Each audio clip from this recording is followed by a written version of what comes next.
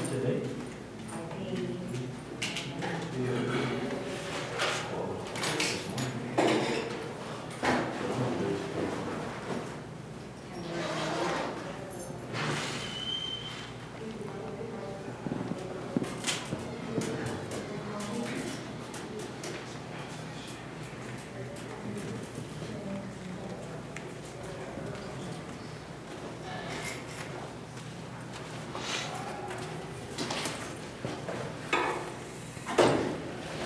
Parker.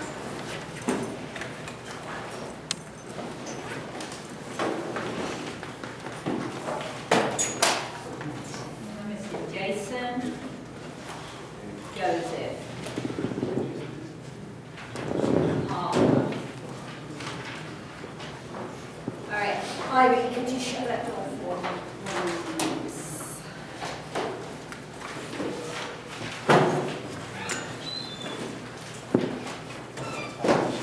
All right, today's a lot of fun. I like this lecture. Hopefully you all checked your um, anatomy of your muscle so that you can follow along with this. Okay? We were talking about different muscle fiber types. Right? So um, we have a slower to contract one, type ones, two major subgroups, type ones and type twos, right? Type ones are slow to develop their peak force. When they reach their peak force, it is relatively lower than it is in a type two fiber. Type two are much quicker to contract and they're able to generate more force within that fast contraction. Okay? Um, don't worry too much about the different ways of defining whether or not it's a type 1 or a type 2. The textbook talks about a histochemical staining technique um, and also um, another one where they look at um, the ratio of speed and contraction. Just use this picture to support what we looked at before. Okay, what we're talking about here is when you look at the general categories of muscle fibers in humans, right? The biggest ones you're going to see are type 1, and then they split type 2 into a 2A and a 2X. Right, now when you look at, particularly at the histochemical one, they've got some other subgroups in there, but they're relatively new. Um, the research on that is relatively new in humans. Um, and so most of the literature is only going to use these three groups because now they have a type 2, either a type 2A, C, and a type 2XL. I can't really even remember. Right, we've got a couple of different mini groups under there, but these are our major muscle fiber types. So when you look at a cross-sectional piece of a muscle, right, go back to the picture earlier in this chapter, right, a muscle is made up of lots and lots of different muscle fibers, hundreds of muscle fibers. Every muscle fiber can be either a 1, a 2A, or 2X. Right? So when we're talking about muscle fibers, don't get confused with the whole muscle. So if you look at these stainings, you can see that this is a cut through a piece of muscle. I've got some type 1s, I've got some type 2As, I've got some type 2Xs. Right? Every muscle is made up of all three types of fibers. It just depends on the ratio of the fibers. That's the key. Okay, so our basic types are these three. Type 1 is the one that can do the most use of oxygen, right? And they're the slowest. Right? Type 2X uses barely any oxygen, not very good at system 3 at all, but it's the fastest. Right? Type 2A can use some oxygen, it's better than a type 2X, it's not as good as a type 1, and it's medium right? It's not as fast as a type 2X, but it's not as slow as a type 1. All right? So we can identify these subtypes if we take a muscle biopsy. To take a muscle biopsy, they have to actually cut through the skin, stick a little pincher into the muscle, pinch a piece of muscle out, Right? So we don't have quite as much work on athletes, I don't think, as we would like, because obviously if you guys are in season or you're in a big training phase, you're not about to let someone cut open your leg.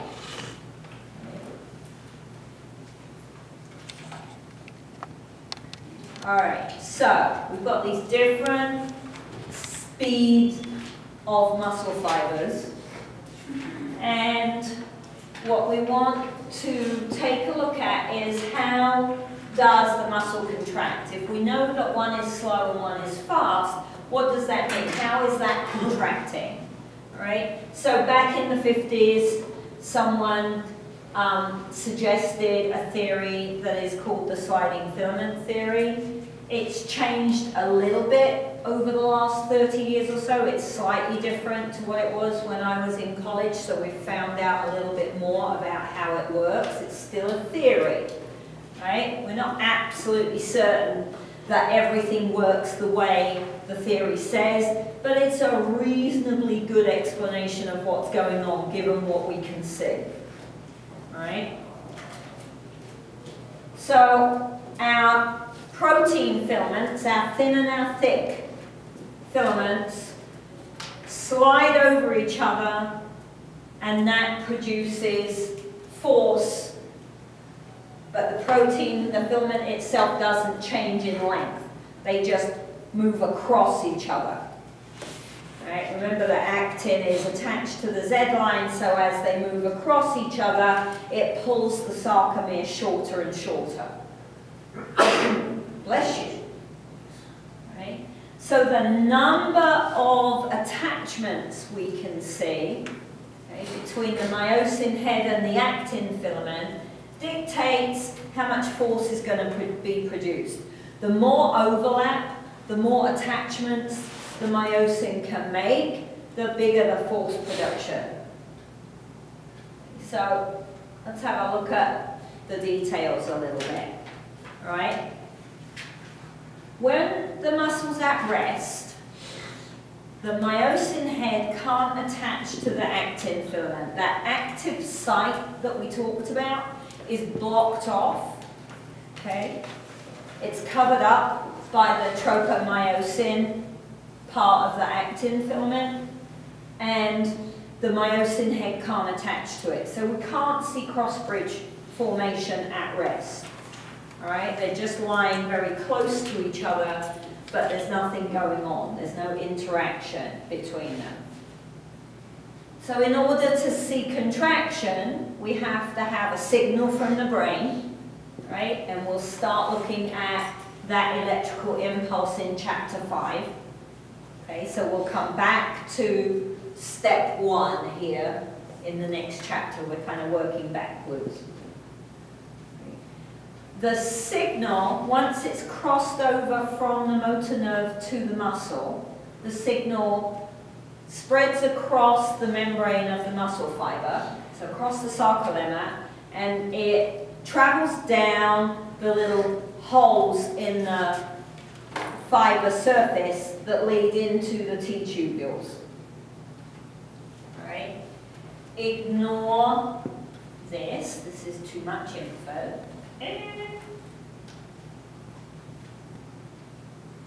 Alright?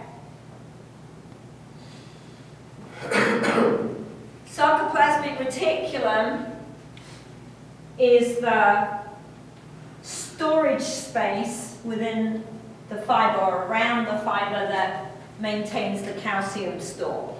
So the impulse that gets into the T-tubule, the T-tubule happens very conveniently to sit quite close to the sarcoplasmic reticulum and it stimulates the sarcoplasmic reticulum to release all these calcium ions into the muscle fiber, into the sarcoplasm. And the calcium then binds to the troponin. And again, we mentioned last week, they talk about different bits of the troponin. Don't worry about that. Right? Just keep it simple. Actin, tropomyosin, troponin. And because of the binding of the calcium, we see a little bit of a formational shift in the fiber, in the protein filament.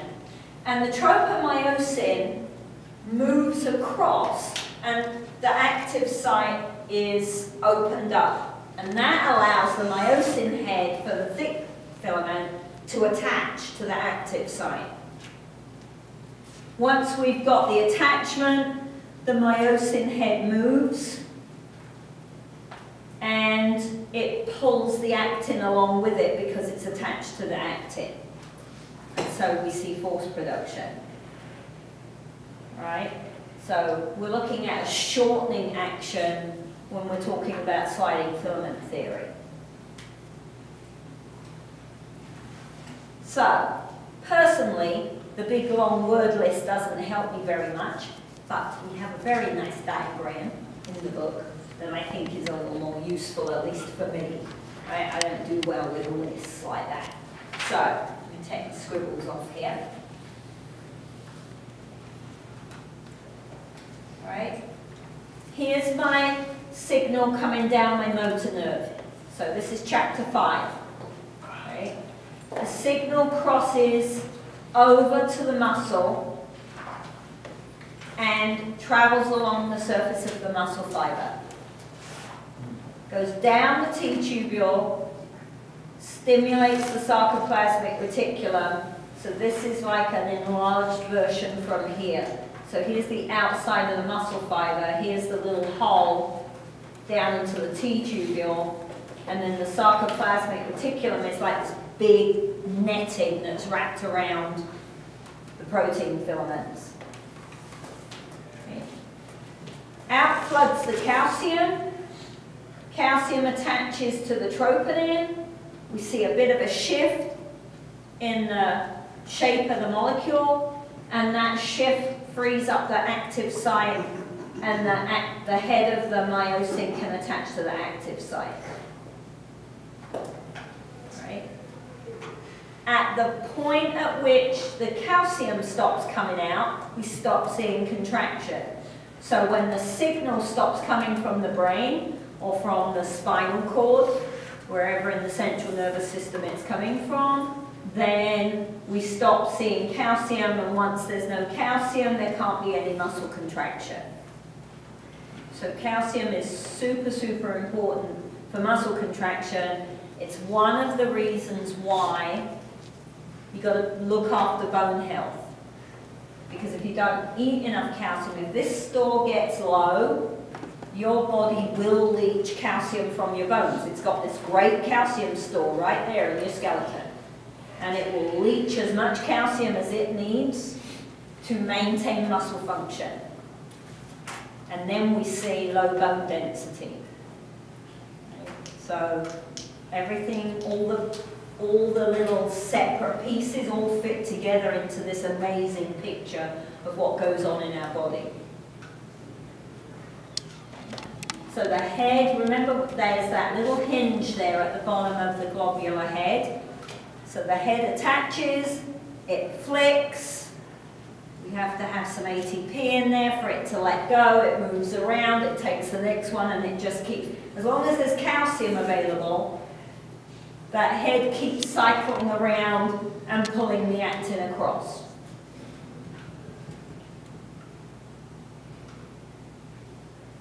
So, they have these very nice diagrams in the book. To me, they're a little bit hard, but they're really good. And if you, if you can take the time to follow them through, I think it's, it would be better if they had cut this in half and put this down here, personally, and had it as one long picture. But this is what's going on. So they've tried to depict what's going on. However,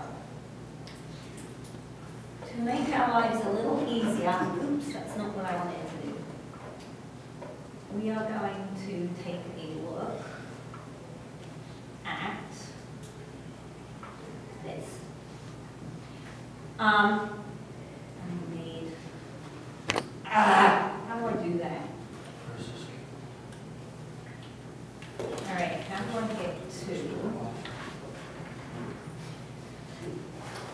This YouTube link does not work in Explorer, and I don't know why, but it will work, at least it did this morning, because I checked it. It will work in Firefox. You use muscles every day to do activities. This woman is using muscles to breathe, circulate blood, and move her hand to take notes. Your cardiac and smooth muscle tissues are involuntary. You do not consciously control their actions. Skeletal muscle works under voluntary control. Skeletal muscles are composed of bundles of muscle fibers. Muscle fibers are long cylindrical cells containing several nuclei. Muscles will contract or relax when they receive signals from the nervous system. A neuromuscular jump. Sorry, I didn't know it would do that. A Junction is the site of the signal exchange. This is where the synaptic bulb of an axon terminal and muscle fiber connect. Muscle fibers are composed of many myofibrils. A myofibril contains contractile units called sarcomeres. Sarcomeres run adjacent to one another down the length of the myofibril. Each sarcomere consists of alternating thick and thin protein filaments, giving skeletal muscle its striated appearance. The muscle contracts when these filaments slide past each other. The thick filaments are myosin, which are anchored at the center of the sarcomere, called the M line. The thin filaments are composed of the protein actin, which are anchored to the Z lines on the outer edges of the sarcomere. Because the actin filaments are anchored to the Z lines, the sarcomere shortens from both sides when actin filaments slide along the myosin filaments. Although the action between the filaments is described as sliding, the myosin filament actually pulls the actin along its length. The cross bridges of the myosin filaments attach to the actin filaments and exert force on them to move. This action is known as the sliding filament mechanism of muscle contraction. In this model, the sarcomeres shorten without the thick or thin filaments changing in length. A contraction begins when a bound ATP is hydrolyzed to ADP and inorganic phosphate. This causes the myosin head to extend and can attach to a binding site on actin, forming a cross bridge.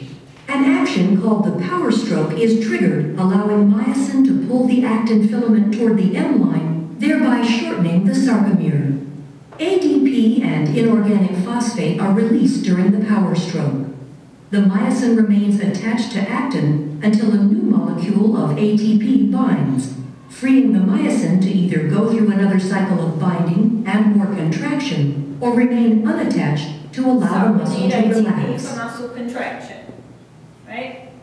Muscle contractions are controlled by the actions of comes from our calcium. The thin actin filaments are associated with regulatory proteins called troponin and tropomyosin. When a muscle is relaxed, tropomyosin blocks the cross-bridge binding sites on actin. When calcium ion levels are high enough and ATP is present, calcium ions bind to the troponin, which displaces tropomyosin, exposing the myosin binding sites on actin. This allows myosin to attach to a binding site on actin, forming a cross bridge. Calcium ions are stored in the sarcoplasmic reticulum and are released in response to signals from the nervous system to contract. Neurotransmitter molecules are released from a neuron and bind to receptors, We'll look at which depolarizes the membrane of the muscle fiber. The electrical impulse travels down the T tubules and opens calcium stores. Calcium ions flow to the myofibrils where they trigger a muscle contraction. As the actin and myosin slide along each other, the entire sarcomere shortens as the Z lines draw closer to the M line. As the sarcomeres in myofibrils contract, the entire muscle fiber will shorten. When muscle fibers contract in unison, a muscle can produce enough force to move the body, allowing you to take notes. Ha. Alright? We like animations, they always make life simpler. In your textbook website, when you go to the student resources, they have a lot, they have a whole list of animations for different things within the textbook. All right, so um, I would encourage those of you who are visual learners um, to use animations as much as possible because I think they make life a lot simpler. All right. So we have to have ATP in order to break the bond to release the myosin head from the actin. If I didn't have ATP, the muscle contraction would kind of get stuck. It wouldn't continue to contract. All right. And that ATP then is coming from our ATP PC if it's very, very quick glycolysis if it takes a little bit longer, and system 3 oxidative phosphorylation Krebs cycle and the electron transport chain if we're moving for more than three minutes. Okay. So that contraction, that cycling of the myosin head is going to continue until the signal stops or it will uh, slow down if we start to run out of ATP if we're fatiguing in a particular event. Right, so 400 meters, killer event. 400 meter hurdles, even worse. Right, killer events. If you watch 400 meter, they're like running backwards as they come around the last bend in a 400 meter hurdle race. Okay, they're slowing down. Generally, the strategy is go out as hard as I can and hope to heck I can hang on long enough that the guy behind me doesn't catch up. Right? Can I keep producing ATP quickly enough for this muscle contraction to occur? So, all right, we have the contraction. We've got shortening of the muscle, if we're looking at this theory. How does the muscle lengthen back out again in order to relax? Because what we don't have is anything, this doesn't, this system doesn't kind of reverse and push the muscle, push the fibers back apart again, push the filaments back apart, right? It's only involved in pulling the filaments across each other and pulling the Z lines closer together. So in order for relaxation to occur and the muscle to return to resting length, there has to be an external force. So what we have is either gravity or the action of an antagonist muscle. Applies a force and moves the bone and because the muscle is no longer contracting, as the bone moves, it pulls on the tendon, pulls on the muscle, and pulls all the filaments back into their original position. And then they're ready to go again. Right? So if you think about it, if I bend my arm, in order to straighten my arm, depends where my arm is, right? If I do this, and I turn this contraction off, gravity is going to pull on the bone and pull it back down. But if I do this, and I turn the muscle off, right? Now gravity's not working because gravity's pulling this way. So the only way to straighten my arm is to contract the antagonist and pull the forearm back out. Okay? So sliding filament theory is purely about shortening the muscle.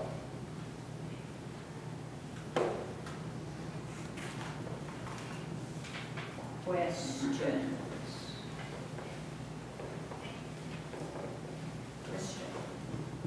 Okay on that? All right. So, how do I know, without looking at it, where a particular body part is or what a particular muscle is doing? Right? When we're doing sport, I can't spend my whole sport activity looking at my legs, working out whether they're bent or straight or... So we have to have information coming from the muscle telling the central nervous system what is going on in that muscle. Do you need to contract it now? Do you need to switch it off now? What's occurring within the skill? Right? How much force is there in the muscle? So the term proprioception is talking about how your body knows where things are and what is going on within that muscle and tendon. Right? Constant flow of information back to the central nervous system. Okay, so we have major, major feedback bombarding the CNS all the time. So that feedback, when we're looking at muscles, that feedback, we have two different versions. One is going to tell the central nervous system what is going on with the length of the, the stretch on the muscle, the change in the length of the muscle. And the other one is going to tell the central nervous system how much force is being produced via the muscle through the tendon. So proprioceptors are receptors that are picking up that information, sending it to the central nervous system. Okay? The central nervous system typically is going to use that information subconsciously. You're not even aware of that info most of the time. Right? There are occasions when you are consciously paying attention to, like, if I'm down in the weight room and I'm really, really focused on squeezing hard, can I push out just a little bit more than I can if I'm off in la la land? So I can focus on that information if I want to, but typically we don't. The brain just uses it. And we see coordinated movement as an outcome. It allows for learning effects. So when I'm learning a new skill, the goal is to be able to repeat that skill over and over again. That means my brain has to learn what does and doesn't work when it turns the muscle on and off. If I go back here, when I'm learning a skill, do I turn on the fast twitch fibers or do I turn on the slow twitch fibers? When do I turn them on? When do I turn them off? Do I want to, am I landing on my face or am I landing on my feet? The brain has to learn whether the signal it sent has the outcome that it wants within the muscle. And if it does, it's got to be able to learn that pattern. right? I turn this one on, and I turn that one on, and I go back and turn this one on again. Part of learning is getting all this feedback. Okay? So that requires practice when you do a skill really well. You ever get that feeling it just felt right? I didn't have to see it. It just, it felt good, right? I know when I do it right because it feels right. It feels right because you're getting all this feedback. So the feedback when we're looking at the muscular system is from two different receptors. The first one is muscle spindles. Muscle spindles are located within the skeletal muscle itself and it's a long, thin receptor that lies in parallel to the muscle fibers. So it runs from one end to the other end. Okay? And it does two things. One, it picks up the signal so how much stretch is on that muscle? What's going on with the length of the muscle and how quickly is it happening? And then it's responsible for sending a signal to the central nervous system, which will then initiate a contraction in the muscle to protect the muscle from this stretch. So the muscle spindle itself doesn't initiate the contraction, but it sends the signal that initiates the contraction. So a stretch reflex then is a similar concept to that stretch shortening cycle that we discussed the other week. Right? If I stretch a muscle very quickly, we see an immediate contraction within that, it's a skeletal muscle. We see an immediate contraction in that muscle.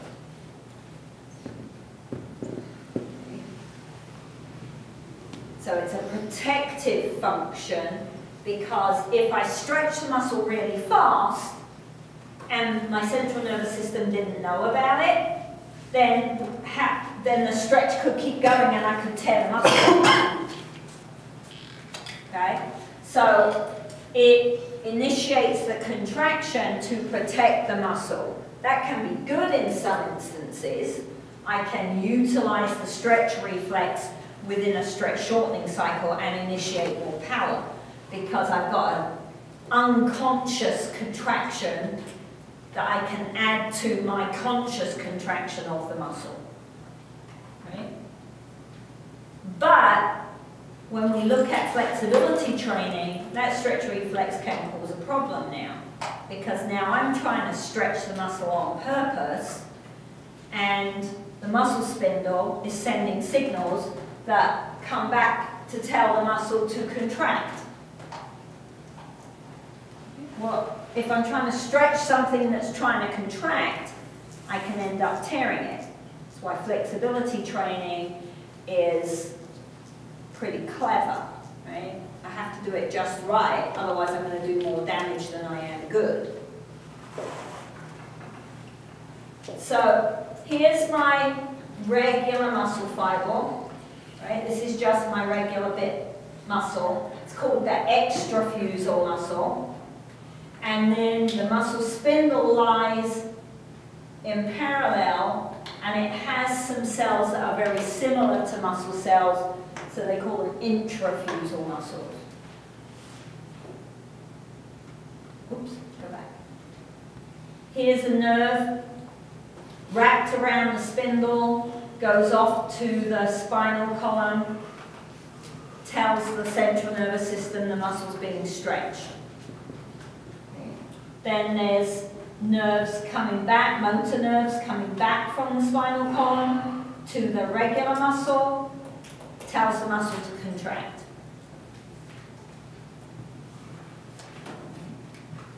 So we can see a training effect here.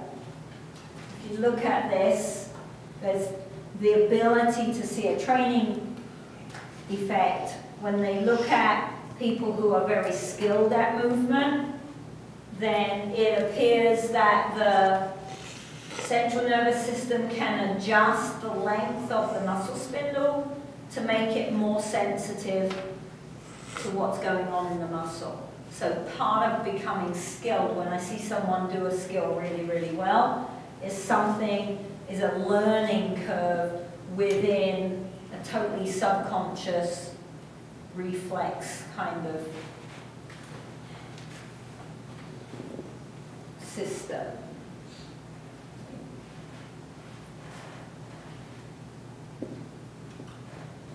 So receptor number two, we said length and force. Receptor number two is responsible for monitoring what's going on with force production. Golgi tendon organ or GTO. Right? And the GTO is located at the muscle tendon junction. So at the point where all the connective tissue is joining together and turning into a tendon, that's where we see the Golgi tendon organs sit. Alright, so they, a lot of them. And their job is to tell the central nervous system what the force production is like. Okay? So I have to respond to how much tension there is in the tendon, and remember the force or the tension on the tendon is coming from the force generated in the muscle. So it tells the central nervous system whether or not there's too much force being produced that could cause damage. It also allows the brain to learn, did I turn on enough motor units, did I turn on enough muscle fibers to achieve the outcome of the skill? Right? If I know how much force was produced within the muscle and I land on my face, then I need to produce more force in the muscle turn on more fibers. So how much force? Excessive force, you see lots and lots and lots of firing from the Golgi tendon organs back to the spinal column. And again, it's got a safety, it's kind of a safety mechanism because if the muscle is producing more force than the tendon can manage, and the tendon might rupture, that wouldn't be good, or the muscle might rupture. Or the force could all get transmitted to the bone and the bone could rupture. Right? You could see a break. So it's another mechanism, it's just in place there. It gives the brain information it can learn from in order to control the skill properly, but it also has a protective mechanism because it tells the central nervous system if there's too much force all of a sudden. And we'll come back and look at this when we look at um, resistance training. One of the one of the things that we see in resistance training is a tendency for the response of the GTO to kind of turn itself down a little bit if I'm trying to bench press lots and lots and lots of weight, then I would have to produce lots and lots and lots of force. Well, when the signal leaves the GTO and goes to the central nervous system, the central nervous system sends a signal back to the muscle to relax a little bit. It's too much force, you need to turn off a little bit. If I'm trying to push a one RM, and my muscles suddenly turn off, where's that bar going? Right? On the face. This isn't good. So part of training is learning to adapt either the response to the GTO or maybe turn the GTO down a little bit so that it doesn't fire quite as dramatically when I deliberately increase the force within the muscle. So we know proprioception can be affected by fatigue, so we see more injuries that you would expect not to happen. If this mechanism is in place as a protective factor, then how do we see, I, I ruptured both my Achilles tendons, how can that happen? Right, because according to this, that amount of force can't be generated because the central nervous system would have turned the muscle down. Right? So it doesn't always work. We still see tear in the muscle when we stretch it. But we see more of those kinds of injuries when there's fatigue in the system. So fatigue is training when we're fatigued is not a good plan. And part of training appears to be mitigating the role of fatigue, right? And those spindles and GTOs are more resistant to the action of fatigue with training. So here's what they look like together, right? Here's my muscle and my bone. Here's my spindle, and always in XPhys diagrams, they try to simplify the diagram as much as possible, which makes it look like in this great big muscle, there's only one muscle spindle, right? That's not the case. There's lots of spindles in the muscle, right? Here's the nerve, the sensory nerve. So if I stretch, if I pull on this muscle, right, then I pull on the spindle at the same time.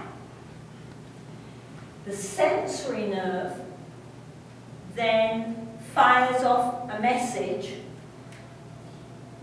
to the central nervous system, says, ah, getting stretched might not be a good thing, and the central nervous system will send back a signal to the muscle and go, okay, tighten up now, don't want this stretch to go any further. If there's a lot of force in the muscle and therefore in the tendon, the GTO, they haven't drawn the sensory nerve in here, but the GTO also has a sensory nerve that will tell the nervous system there's a lot of force, and the nervous system will send back the signal through the motor nerve and tell the muscle to relax. So spindles recognize length, stretch, and initiate a contraction. GTO recognize force or tension and initiate a relaxation.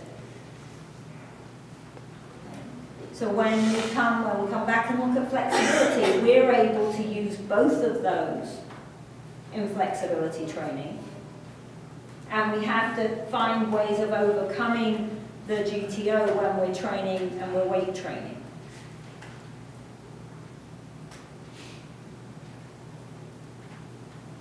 Feedback loops.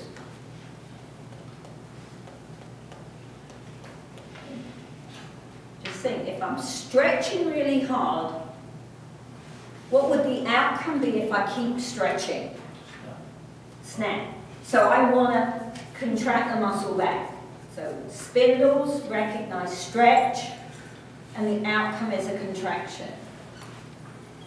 GTOs recognize force, so if I'm contracting really, really, really hard, okay, that could burst something, right? Something can just explode. And so the response to that is a relaxation within the muscle. Does that sense? And this is subconscious. This is a this is a reflex feedback loop. Now that doesn't mean that this information coming along the sensory nerve, all that information just stops at the motor nerve and goes back to the muscle, right? Because it also will synapse with a nerve that's going up to the brain. So the brain can learn from that information coming into the spinal column as well. But it does mean that all that information doesn't have to go all the way up to the brain for the brain to send a signal all the way back down to tell the muscle to stretch or contract. Does that make sense? Right? I've got a feedback loop going on within the spinal column that does that for me. So the response is very, very rapid.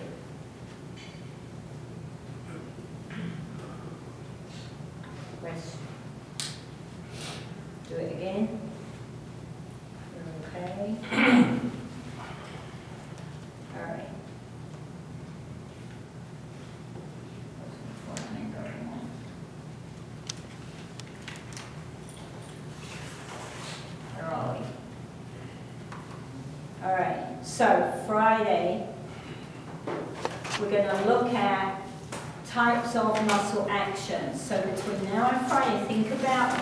the movements that you're doing, right? When you perform a movement, doesn't matter whether it's brushing your teeth in the morning or whether it's some highly skilled sport movement, right? What is happening in the muscles that you're using? Are they shortening? Are they staying the same length? Or are they getting longer? Right, So be thinking about that so that we can start to look at what that means. What does the change in the length or no change in the length mean when we look at force production?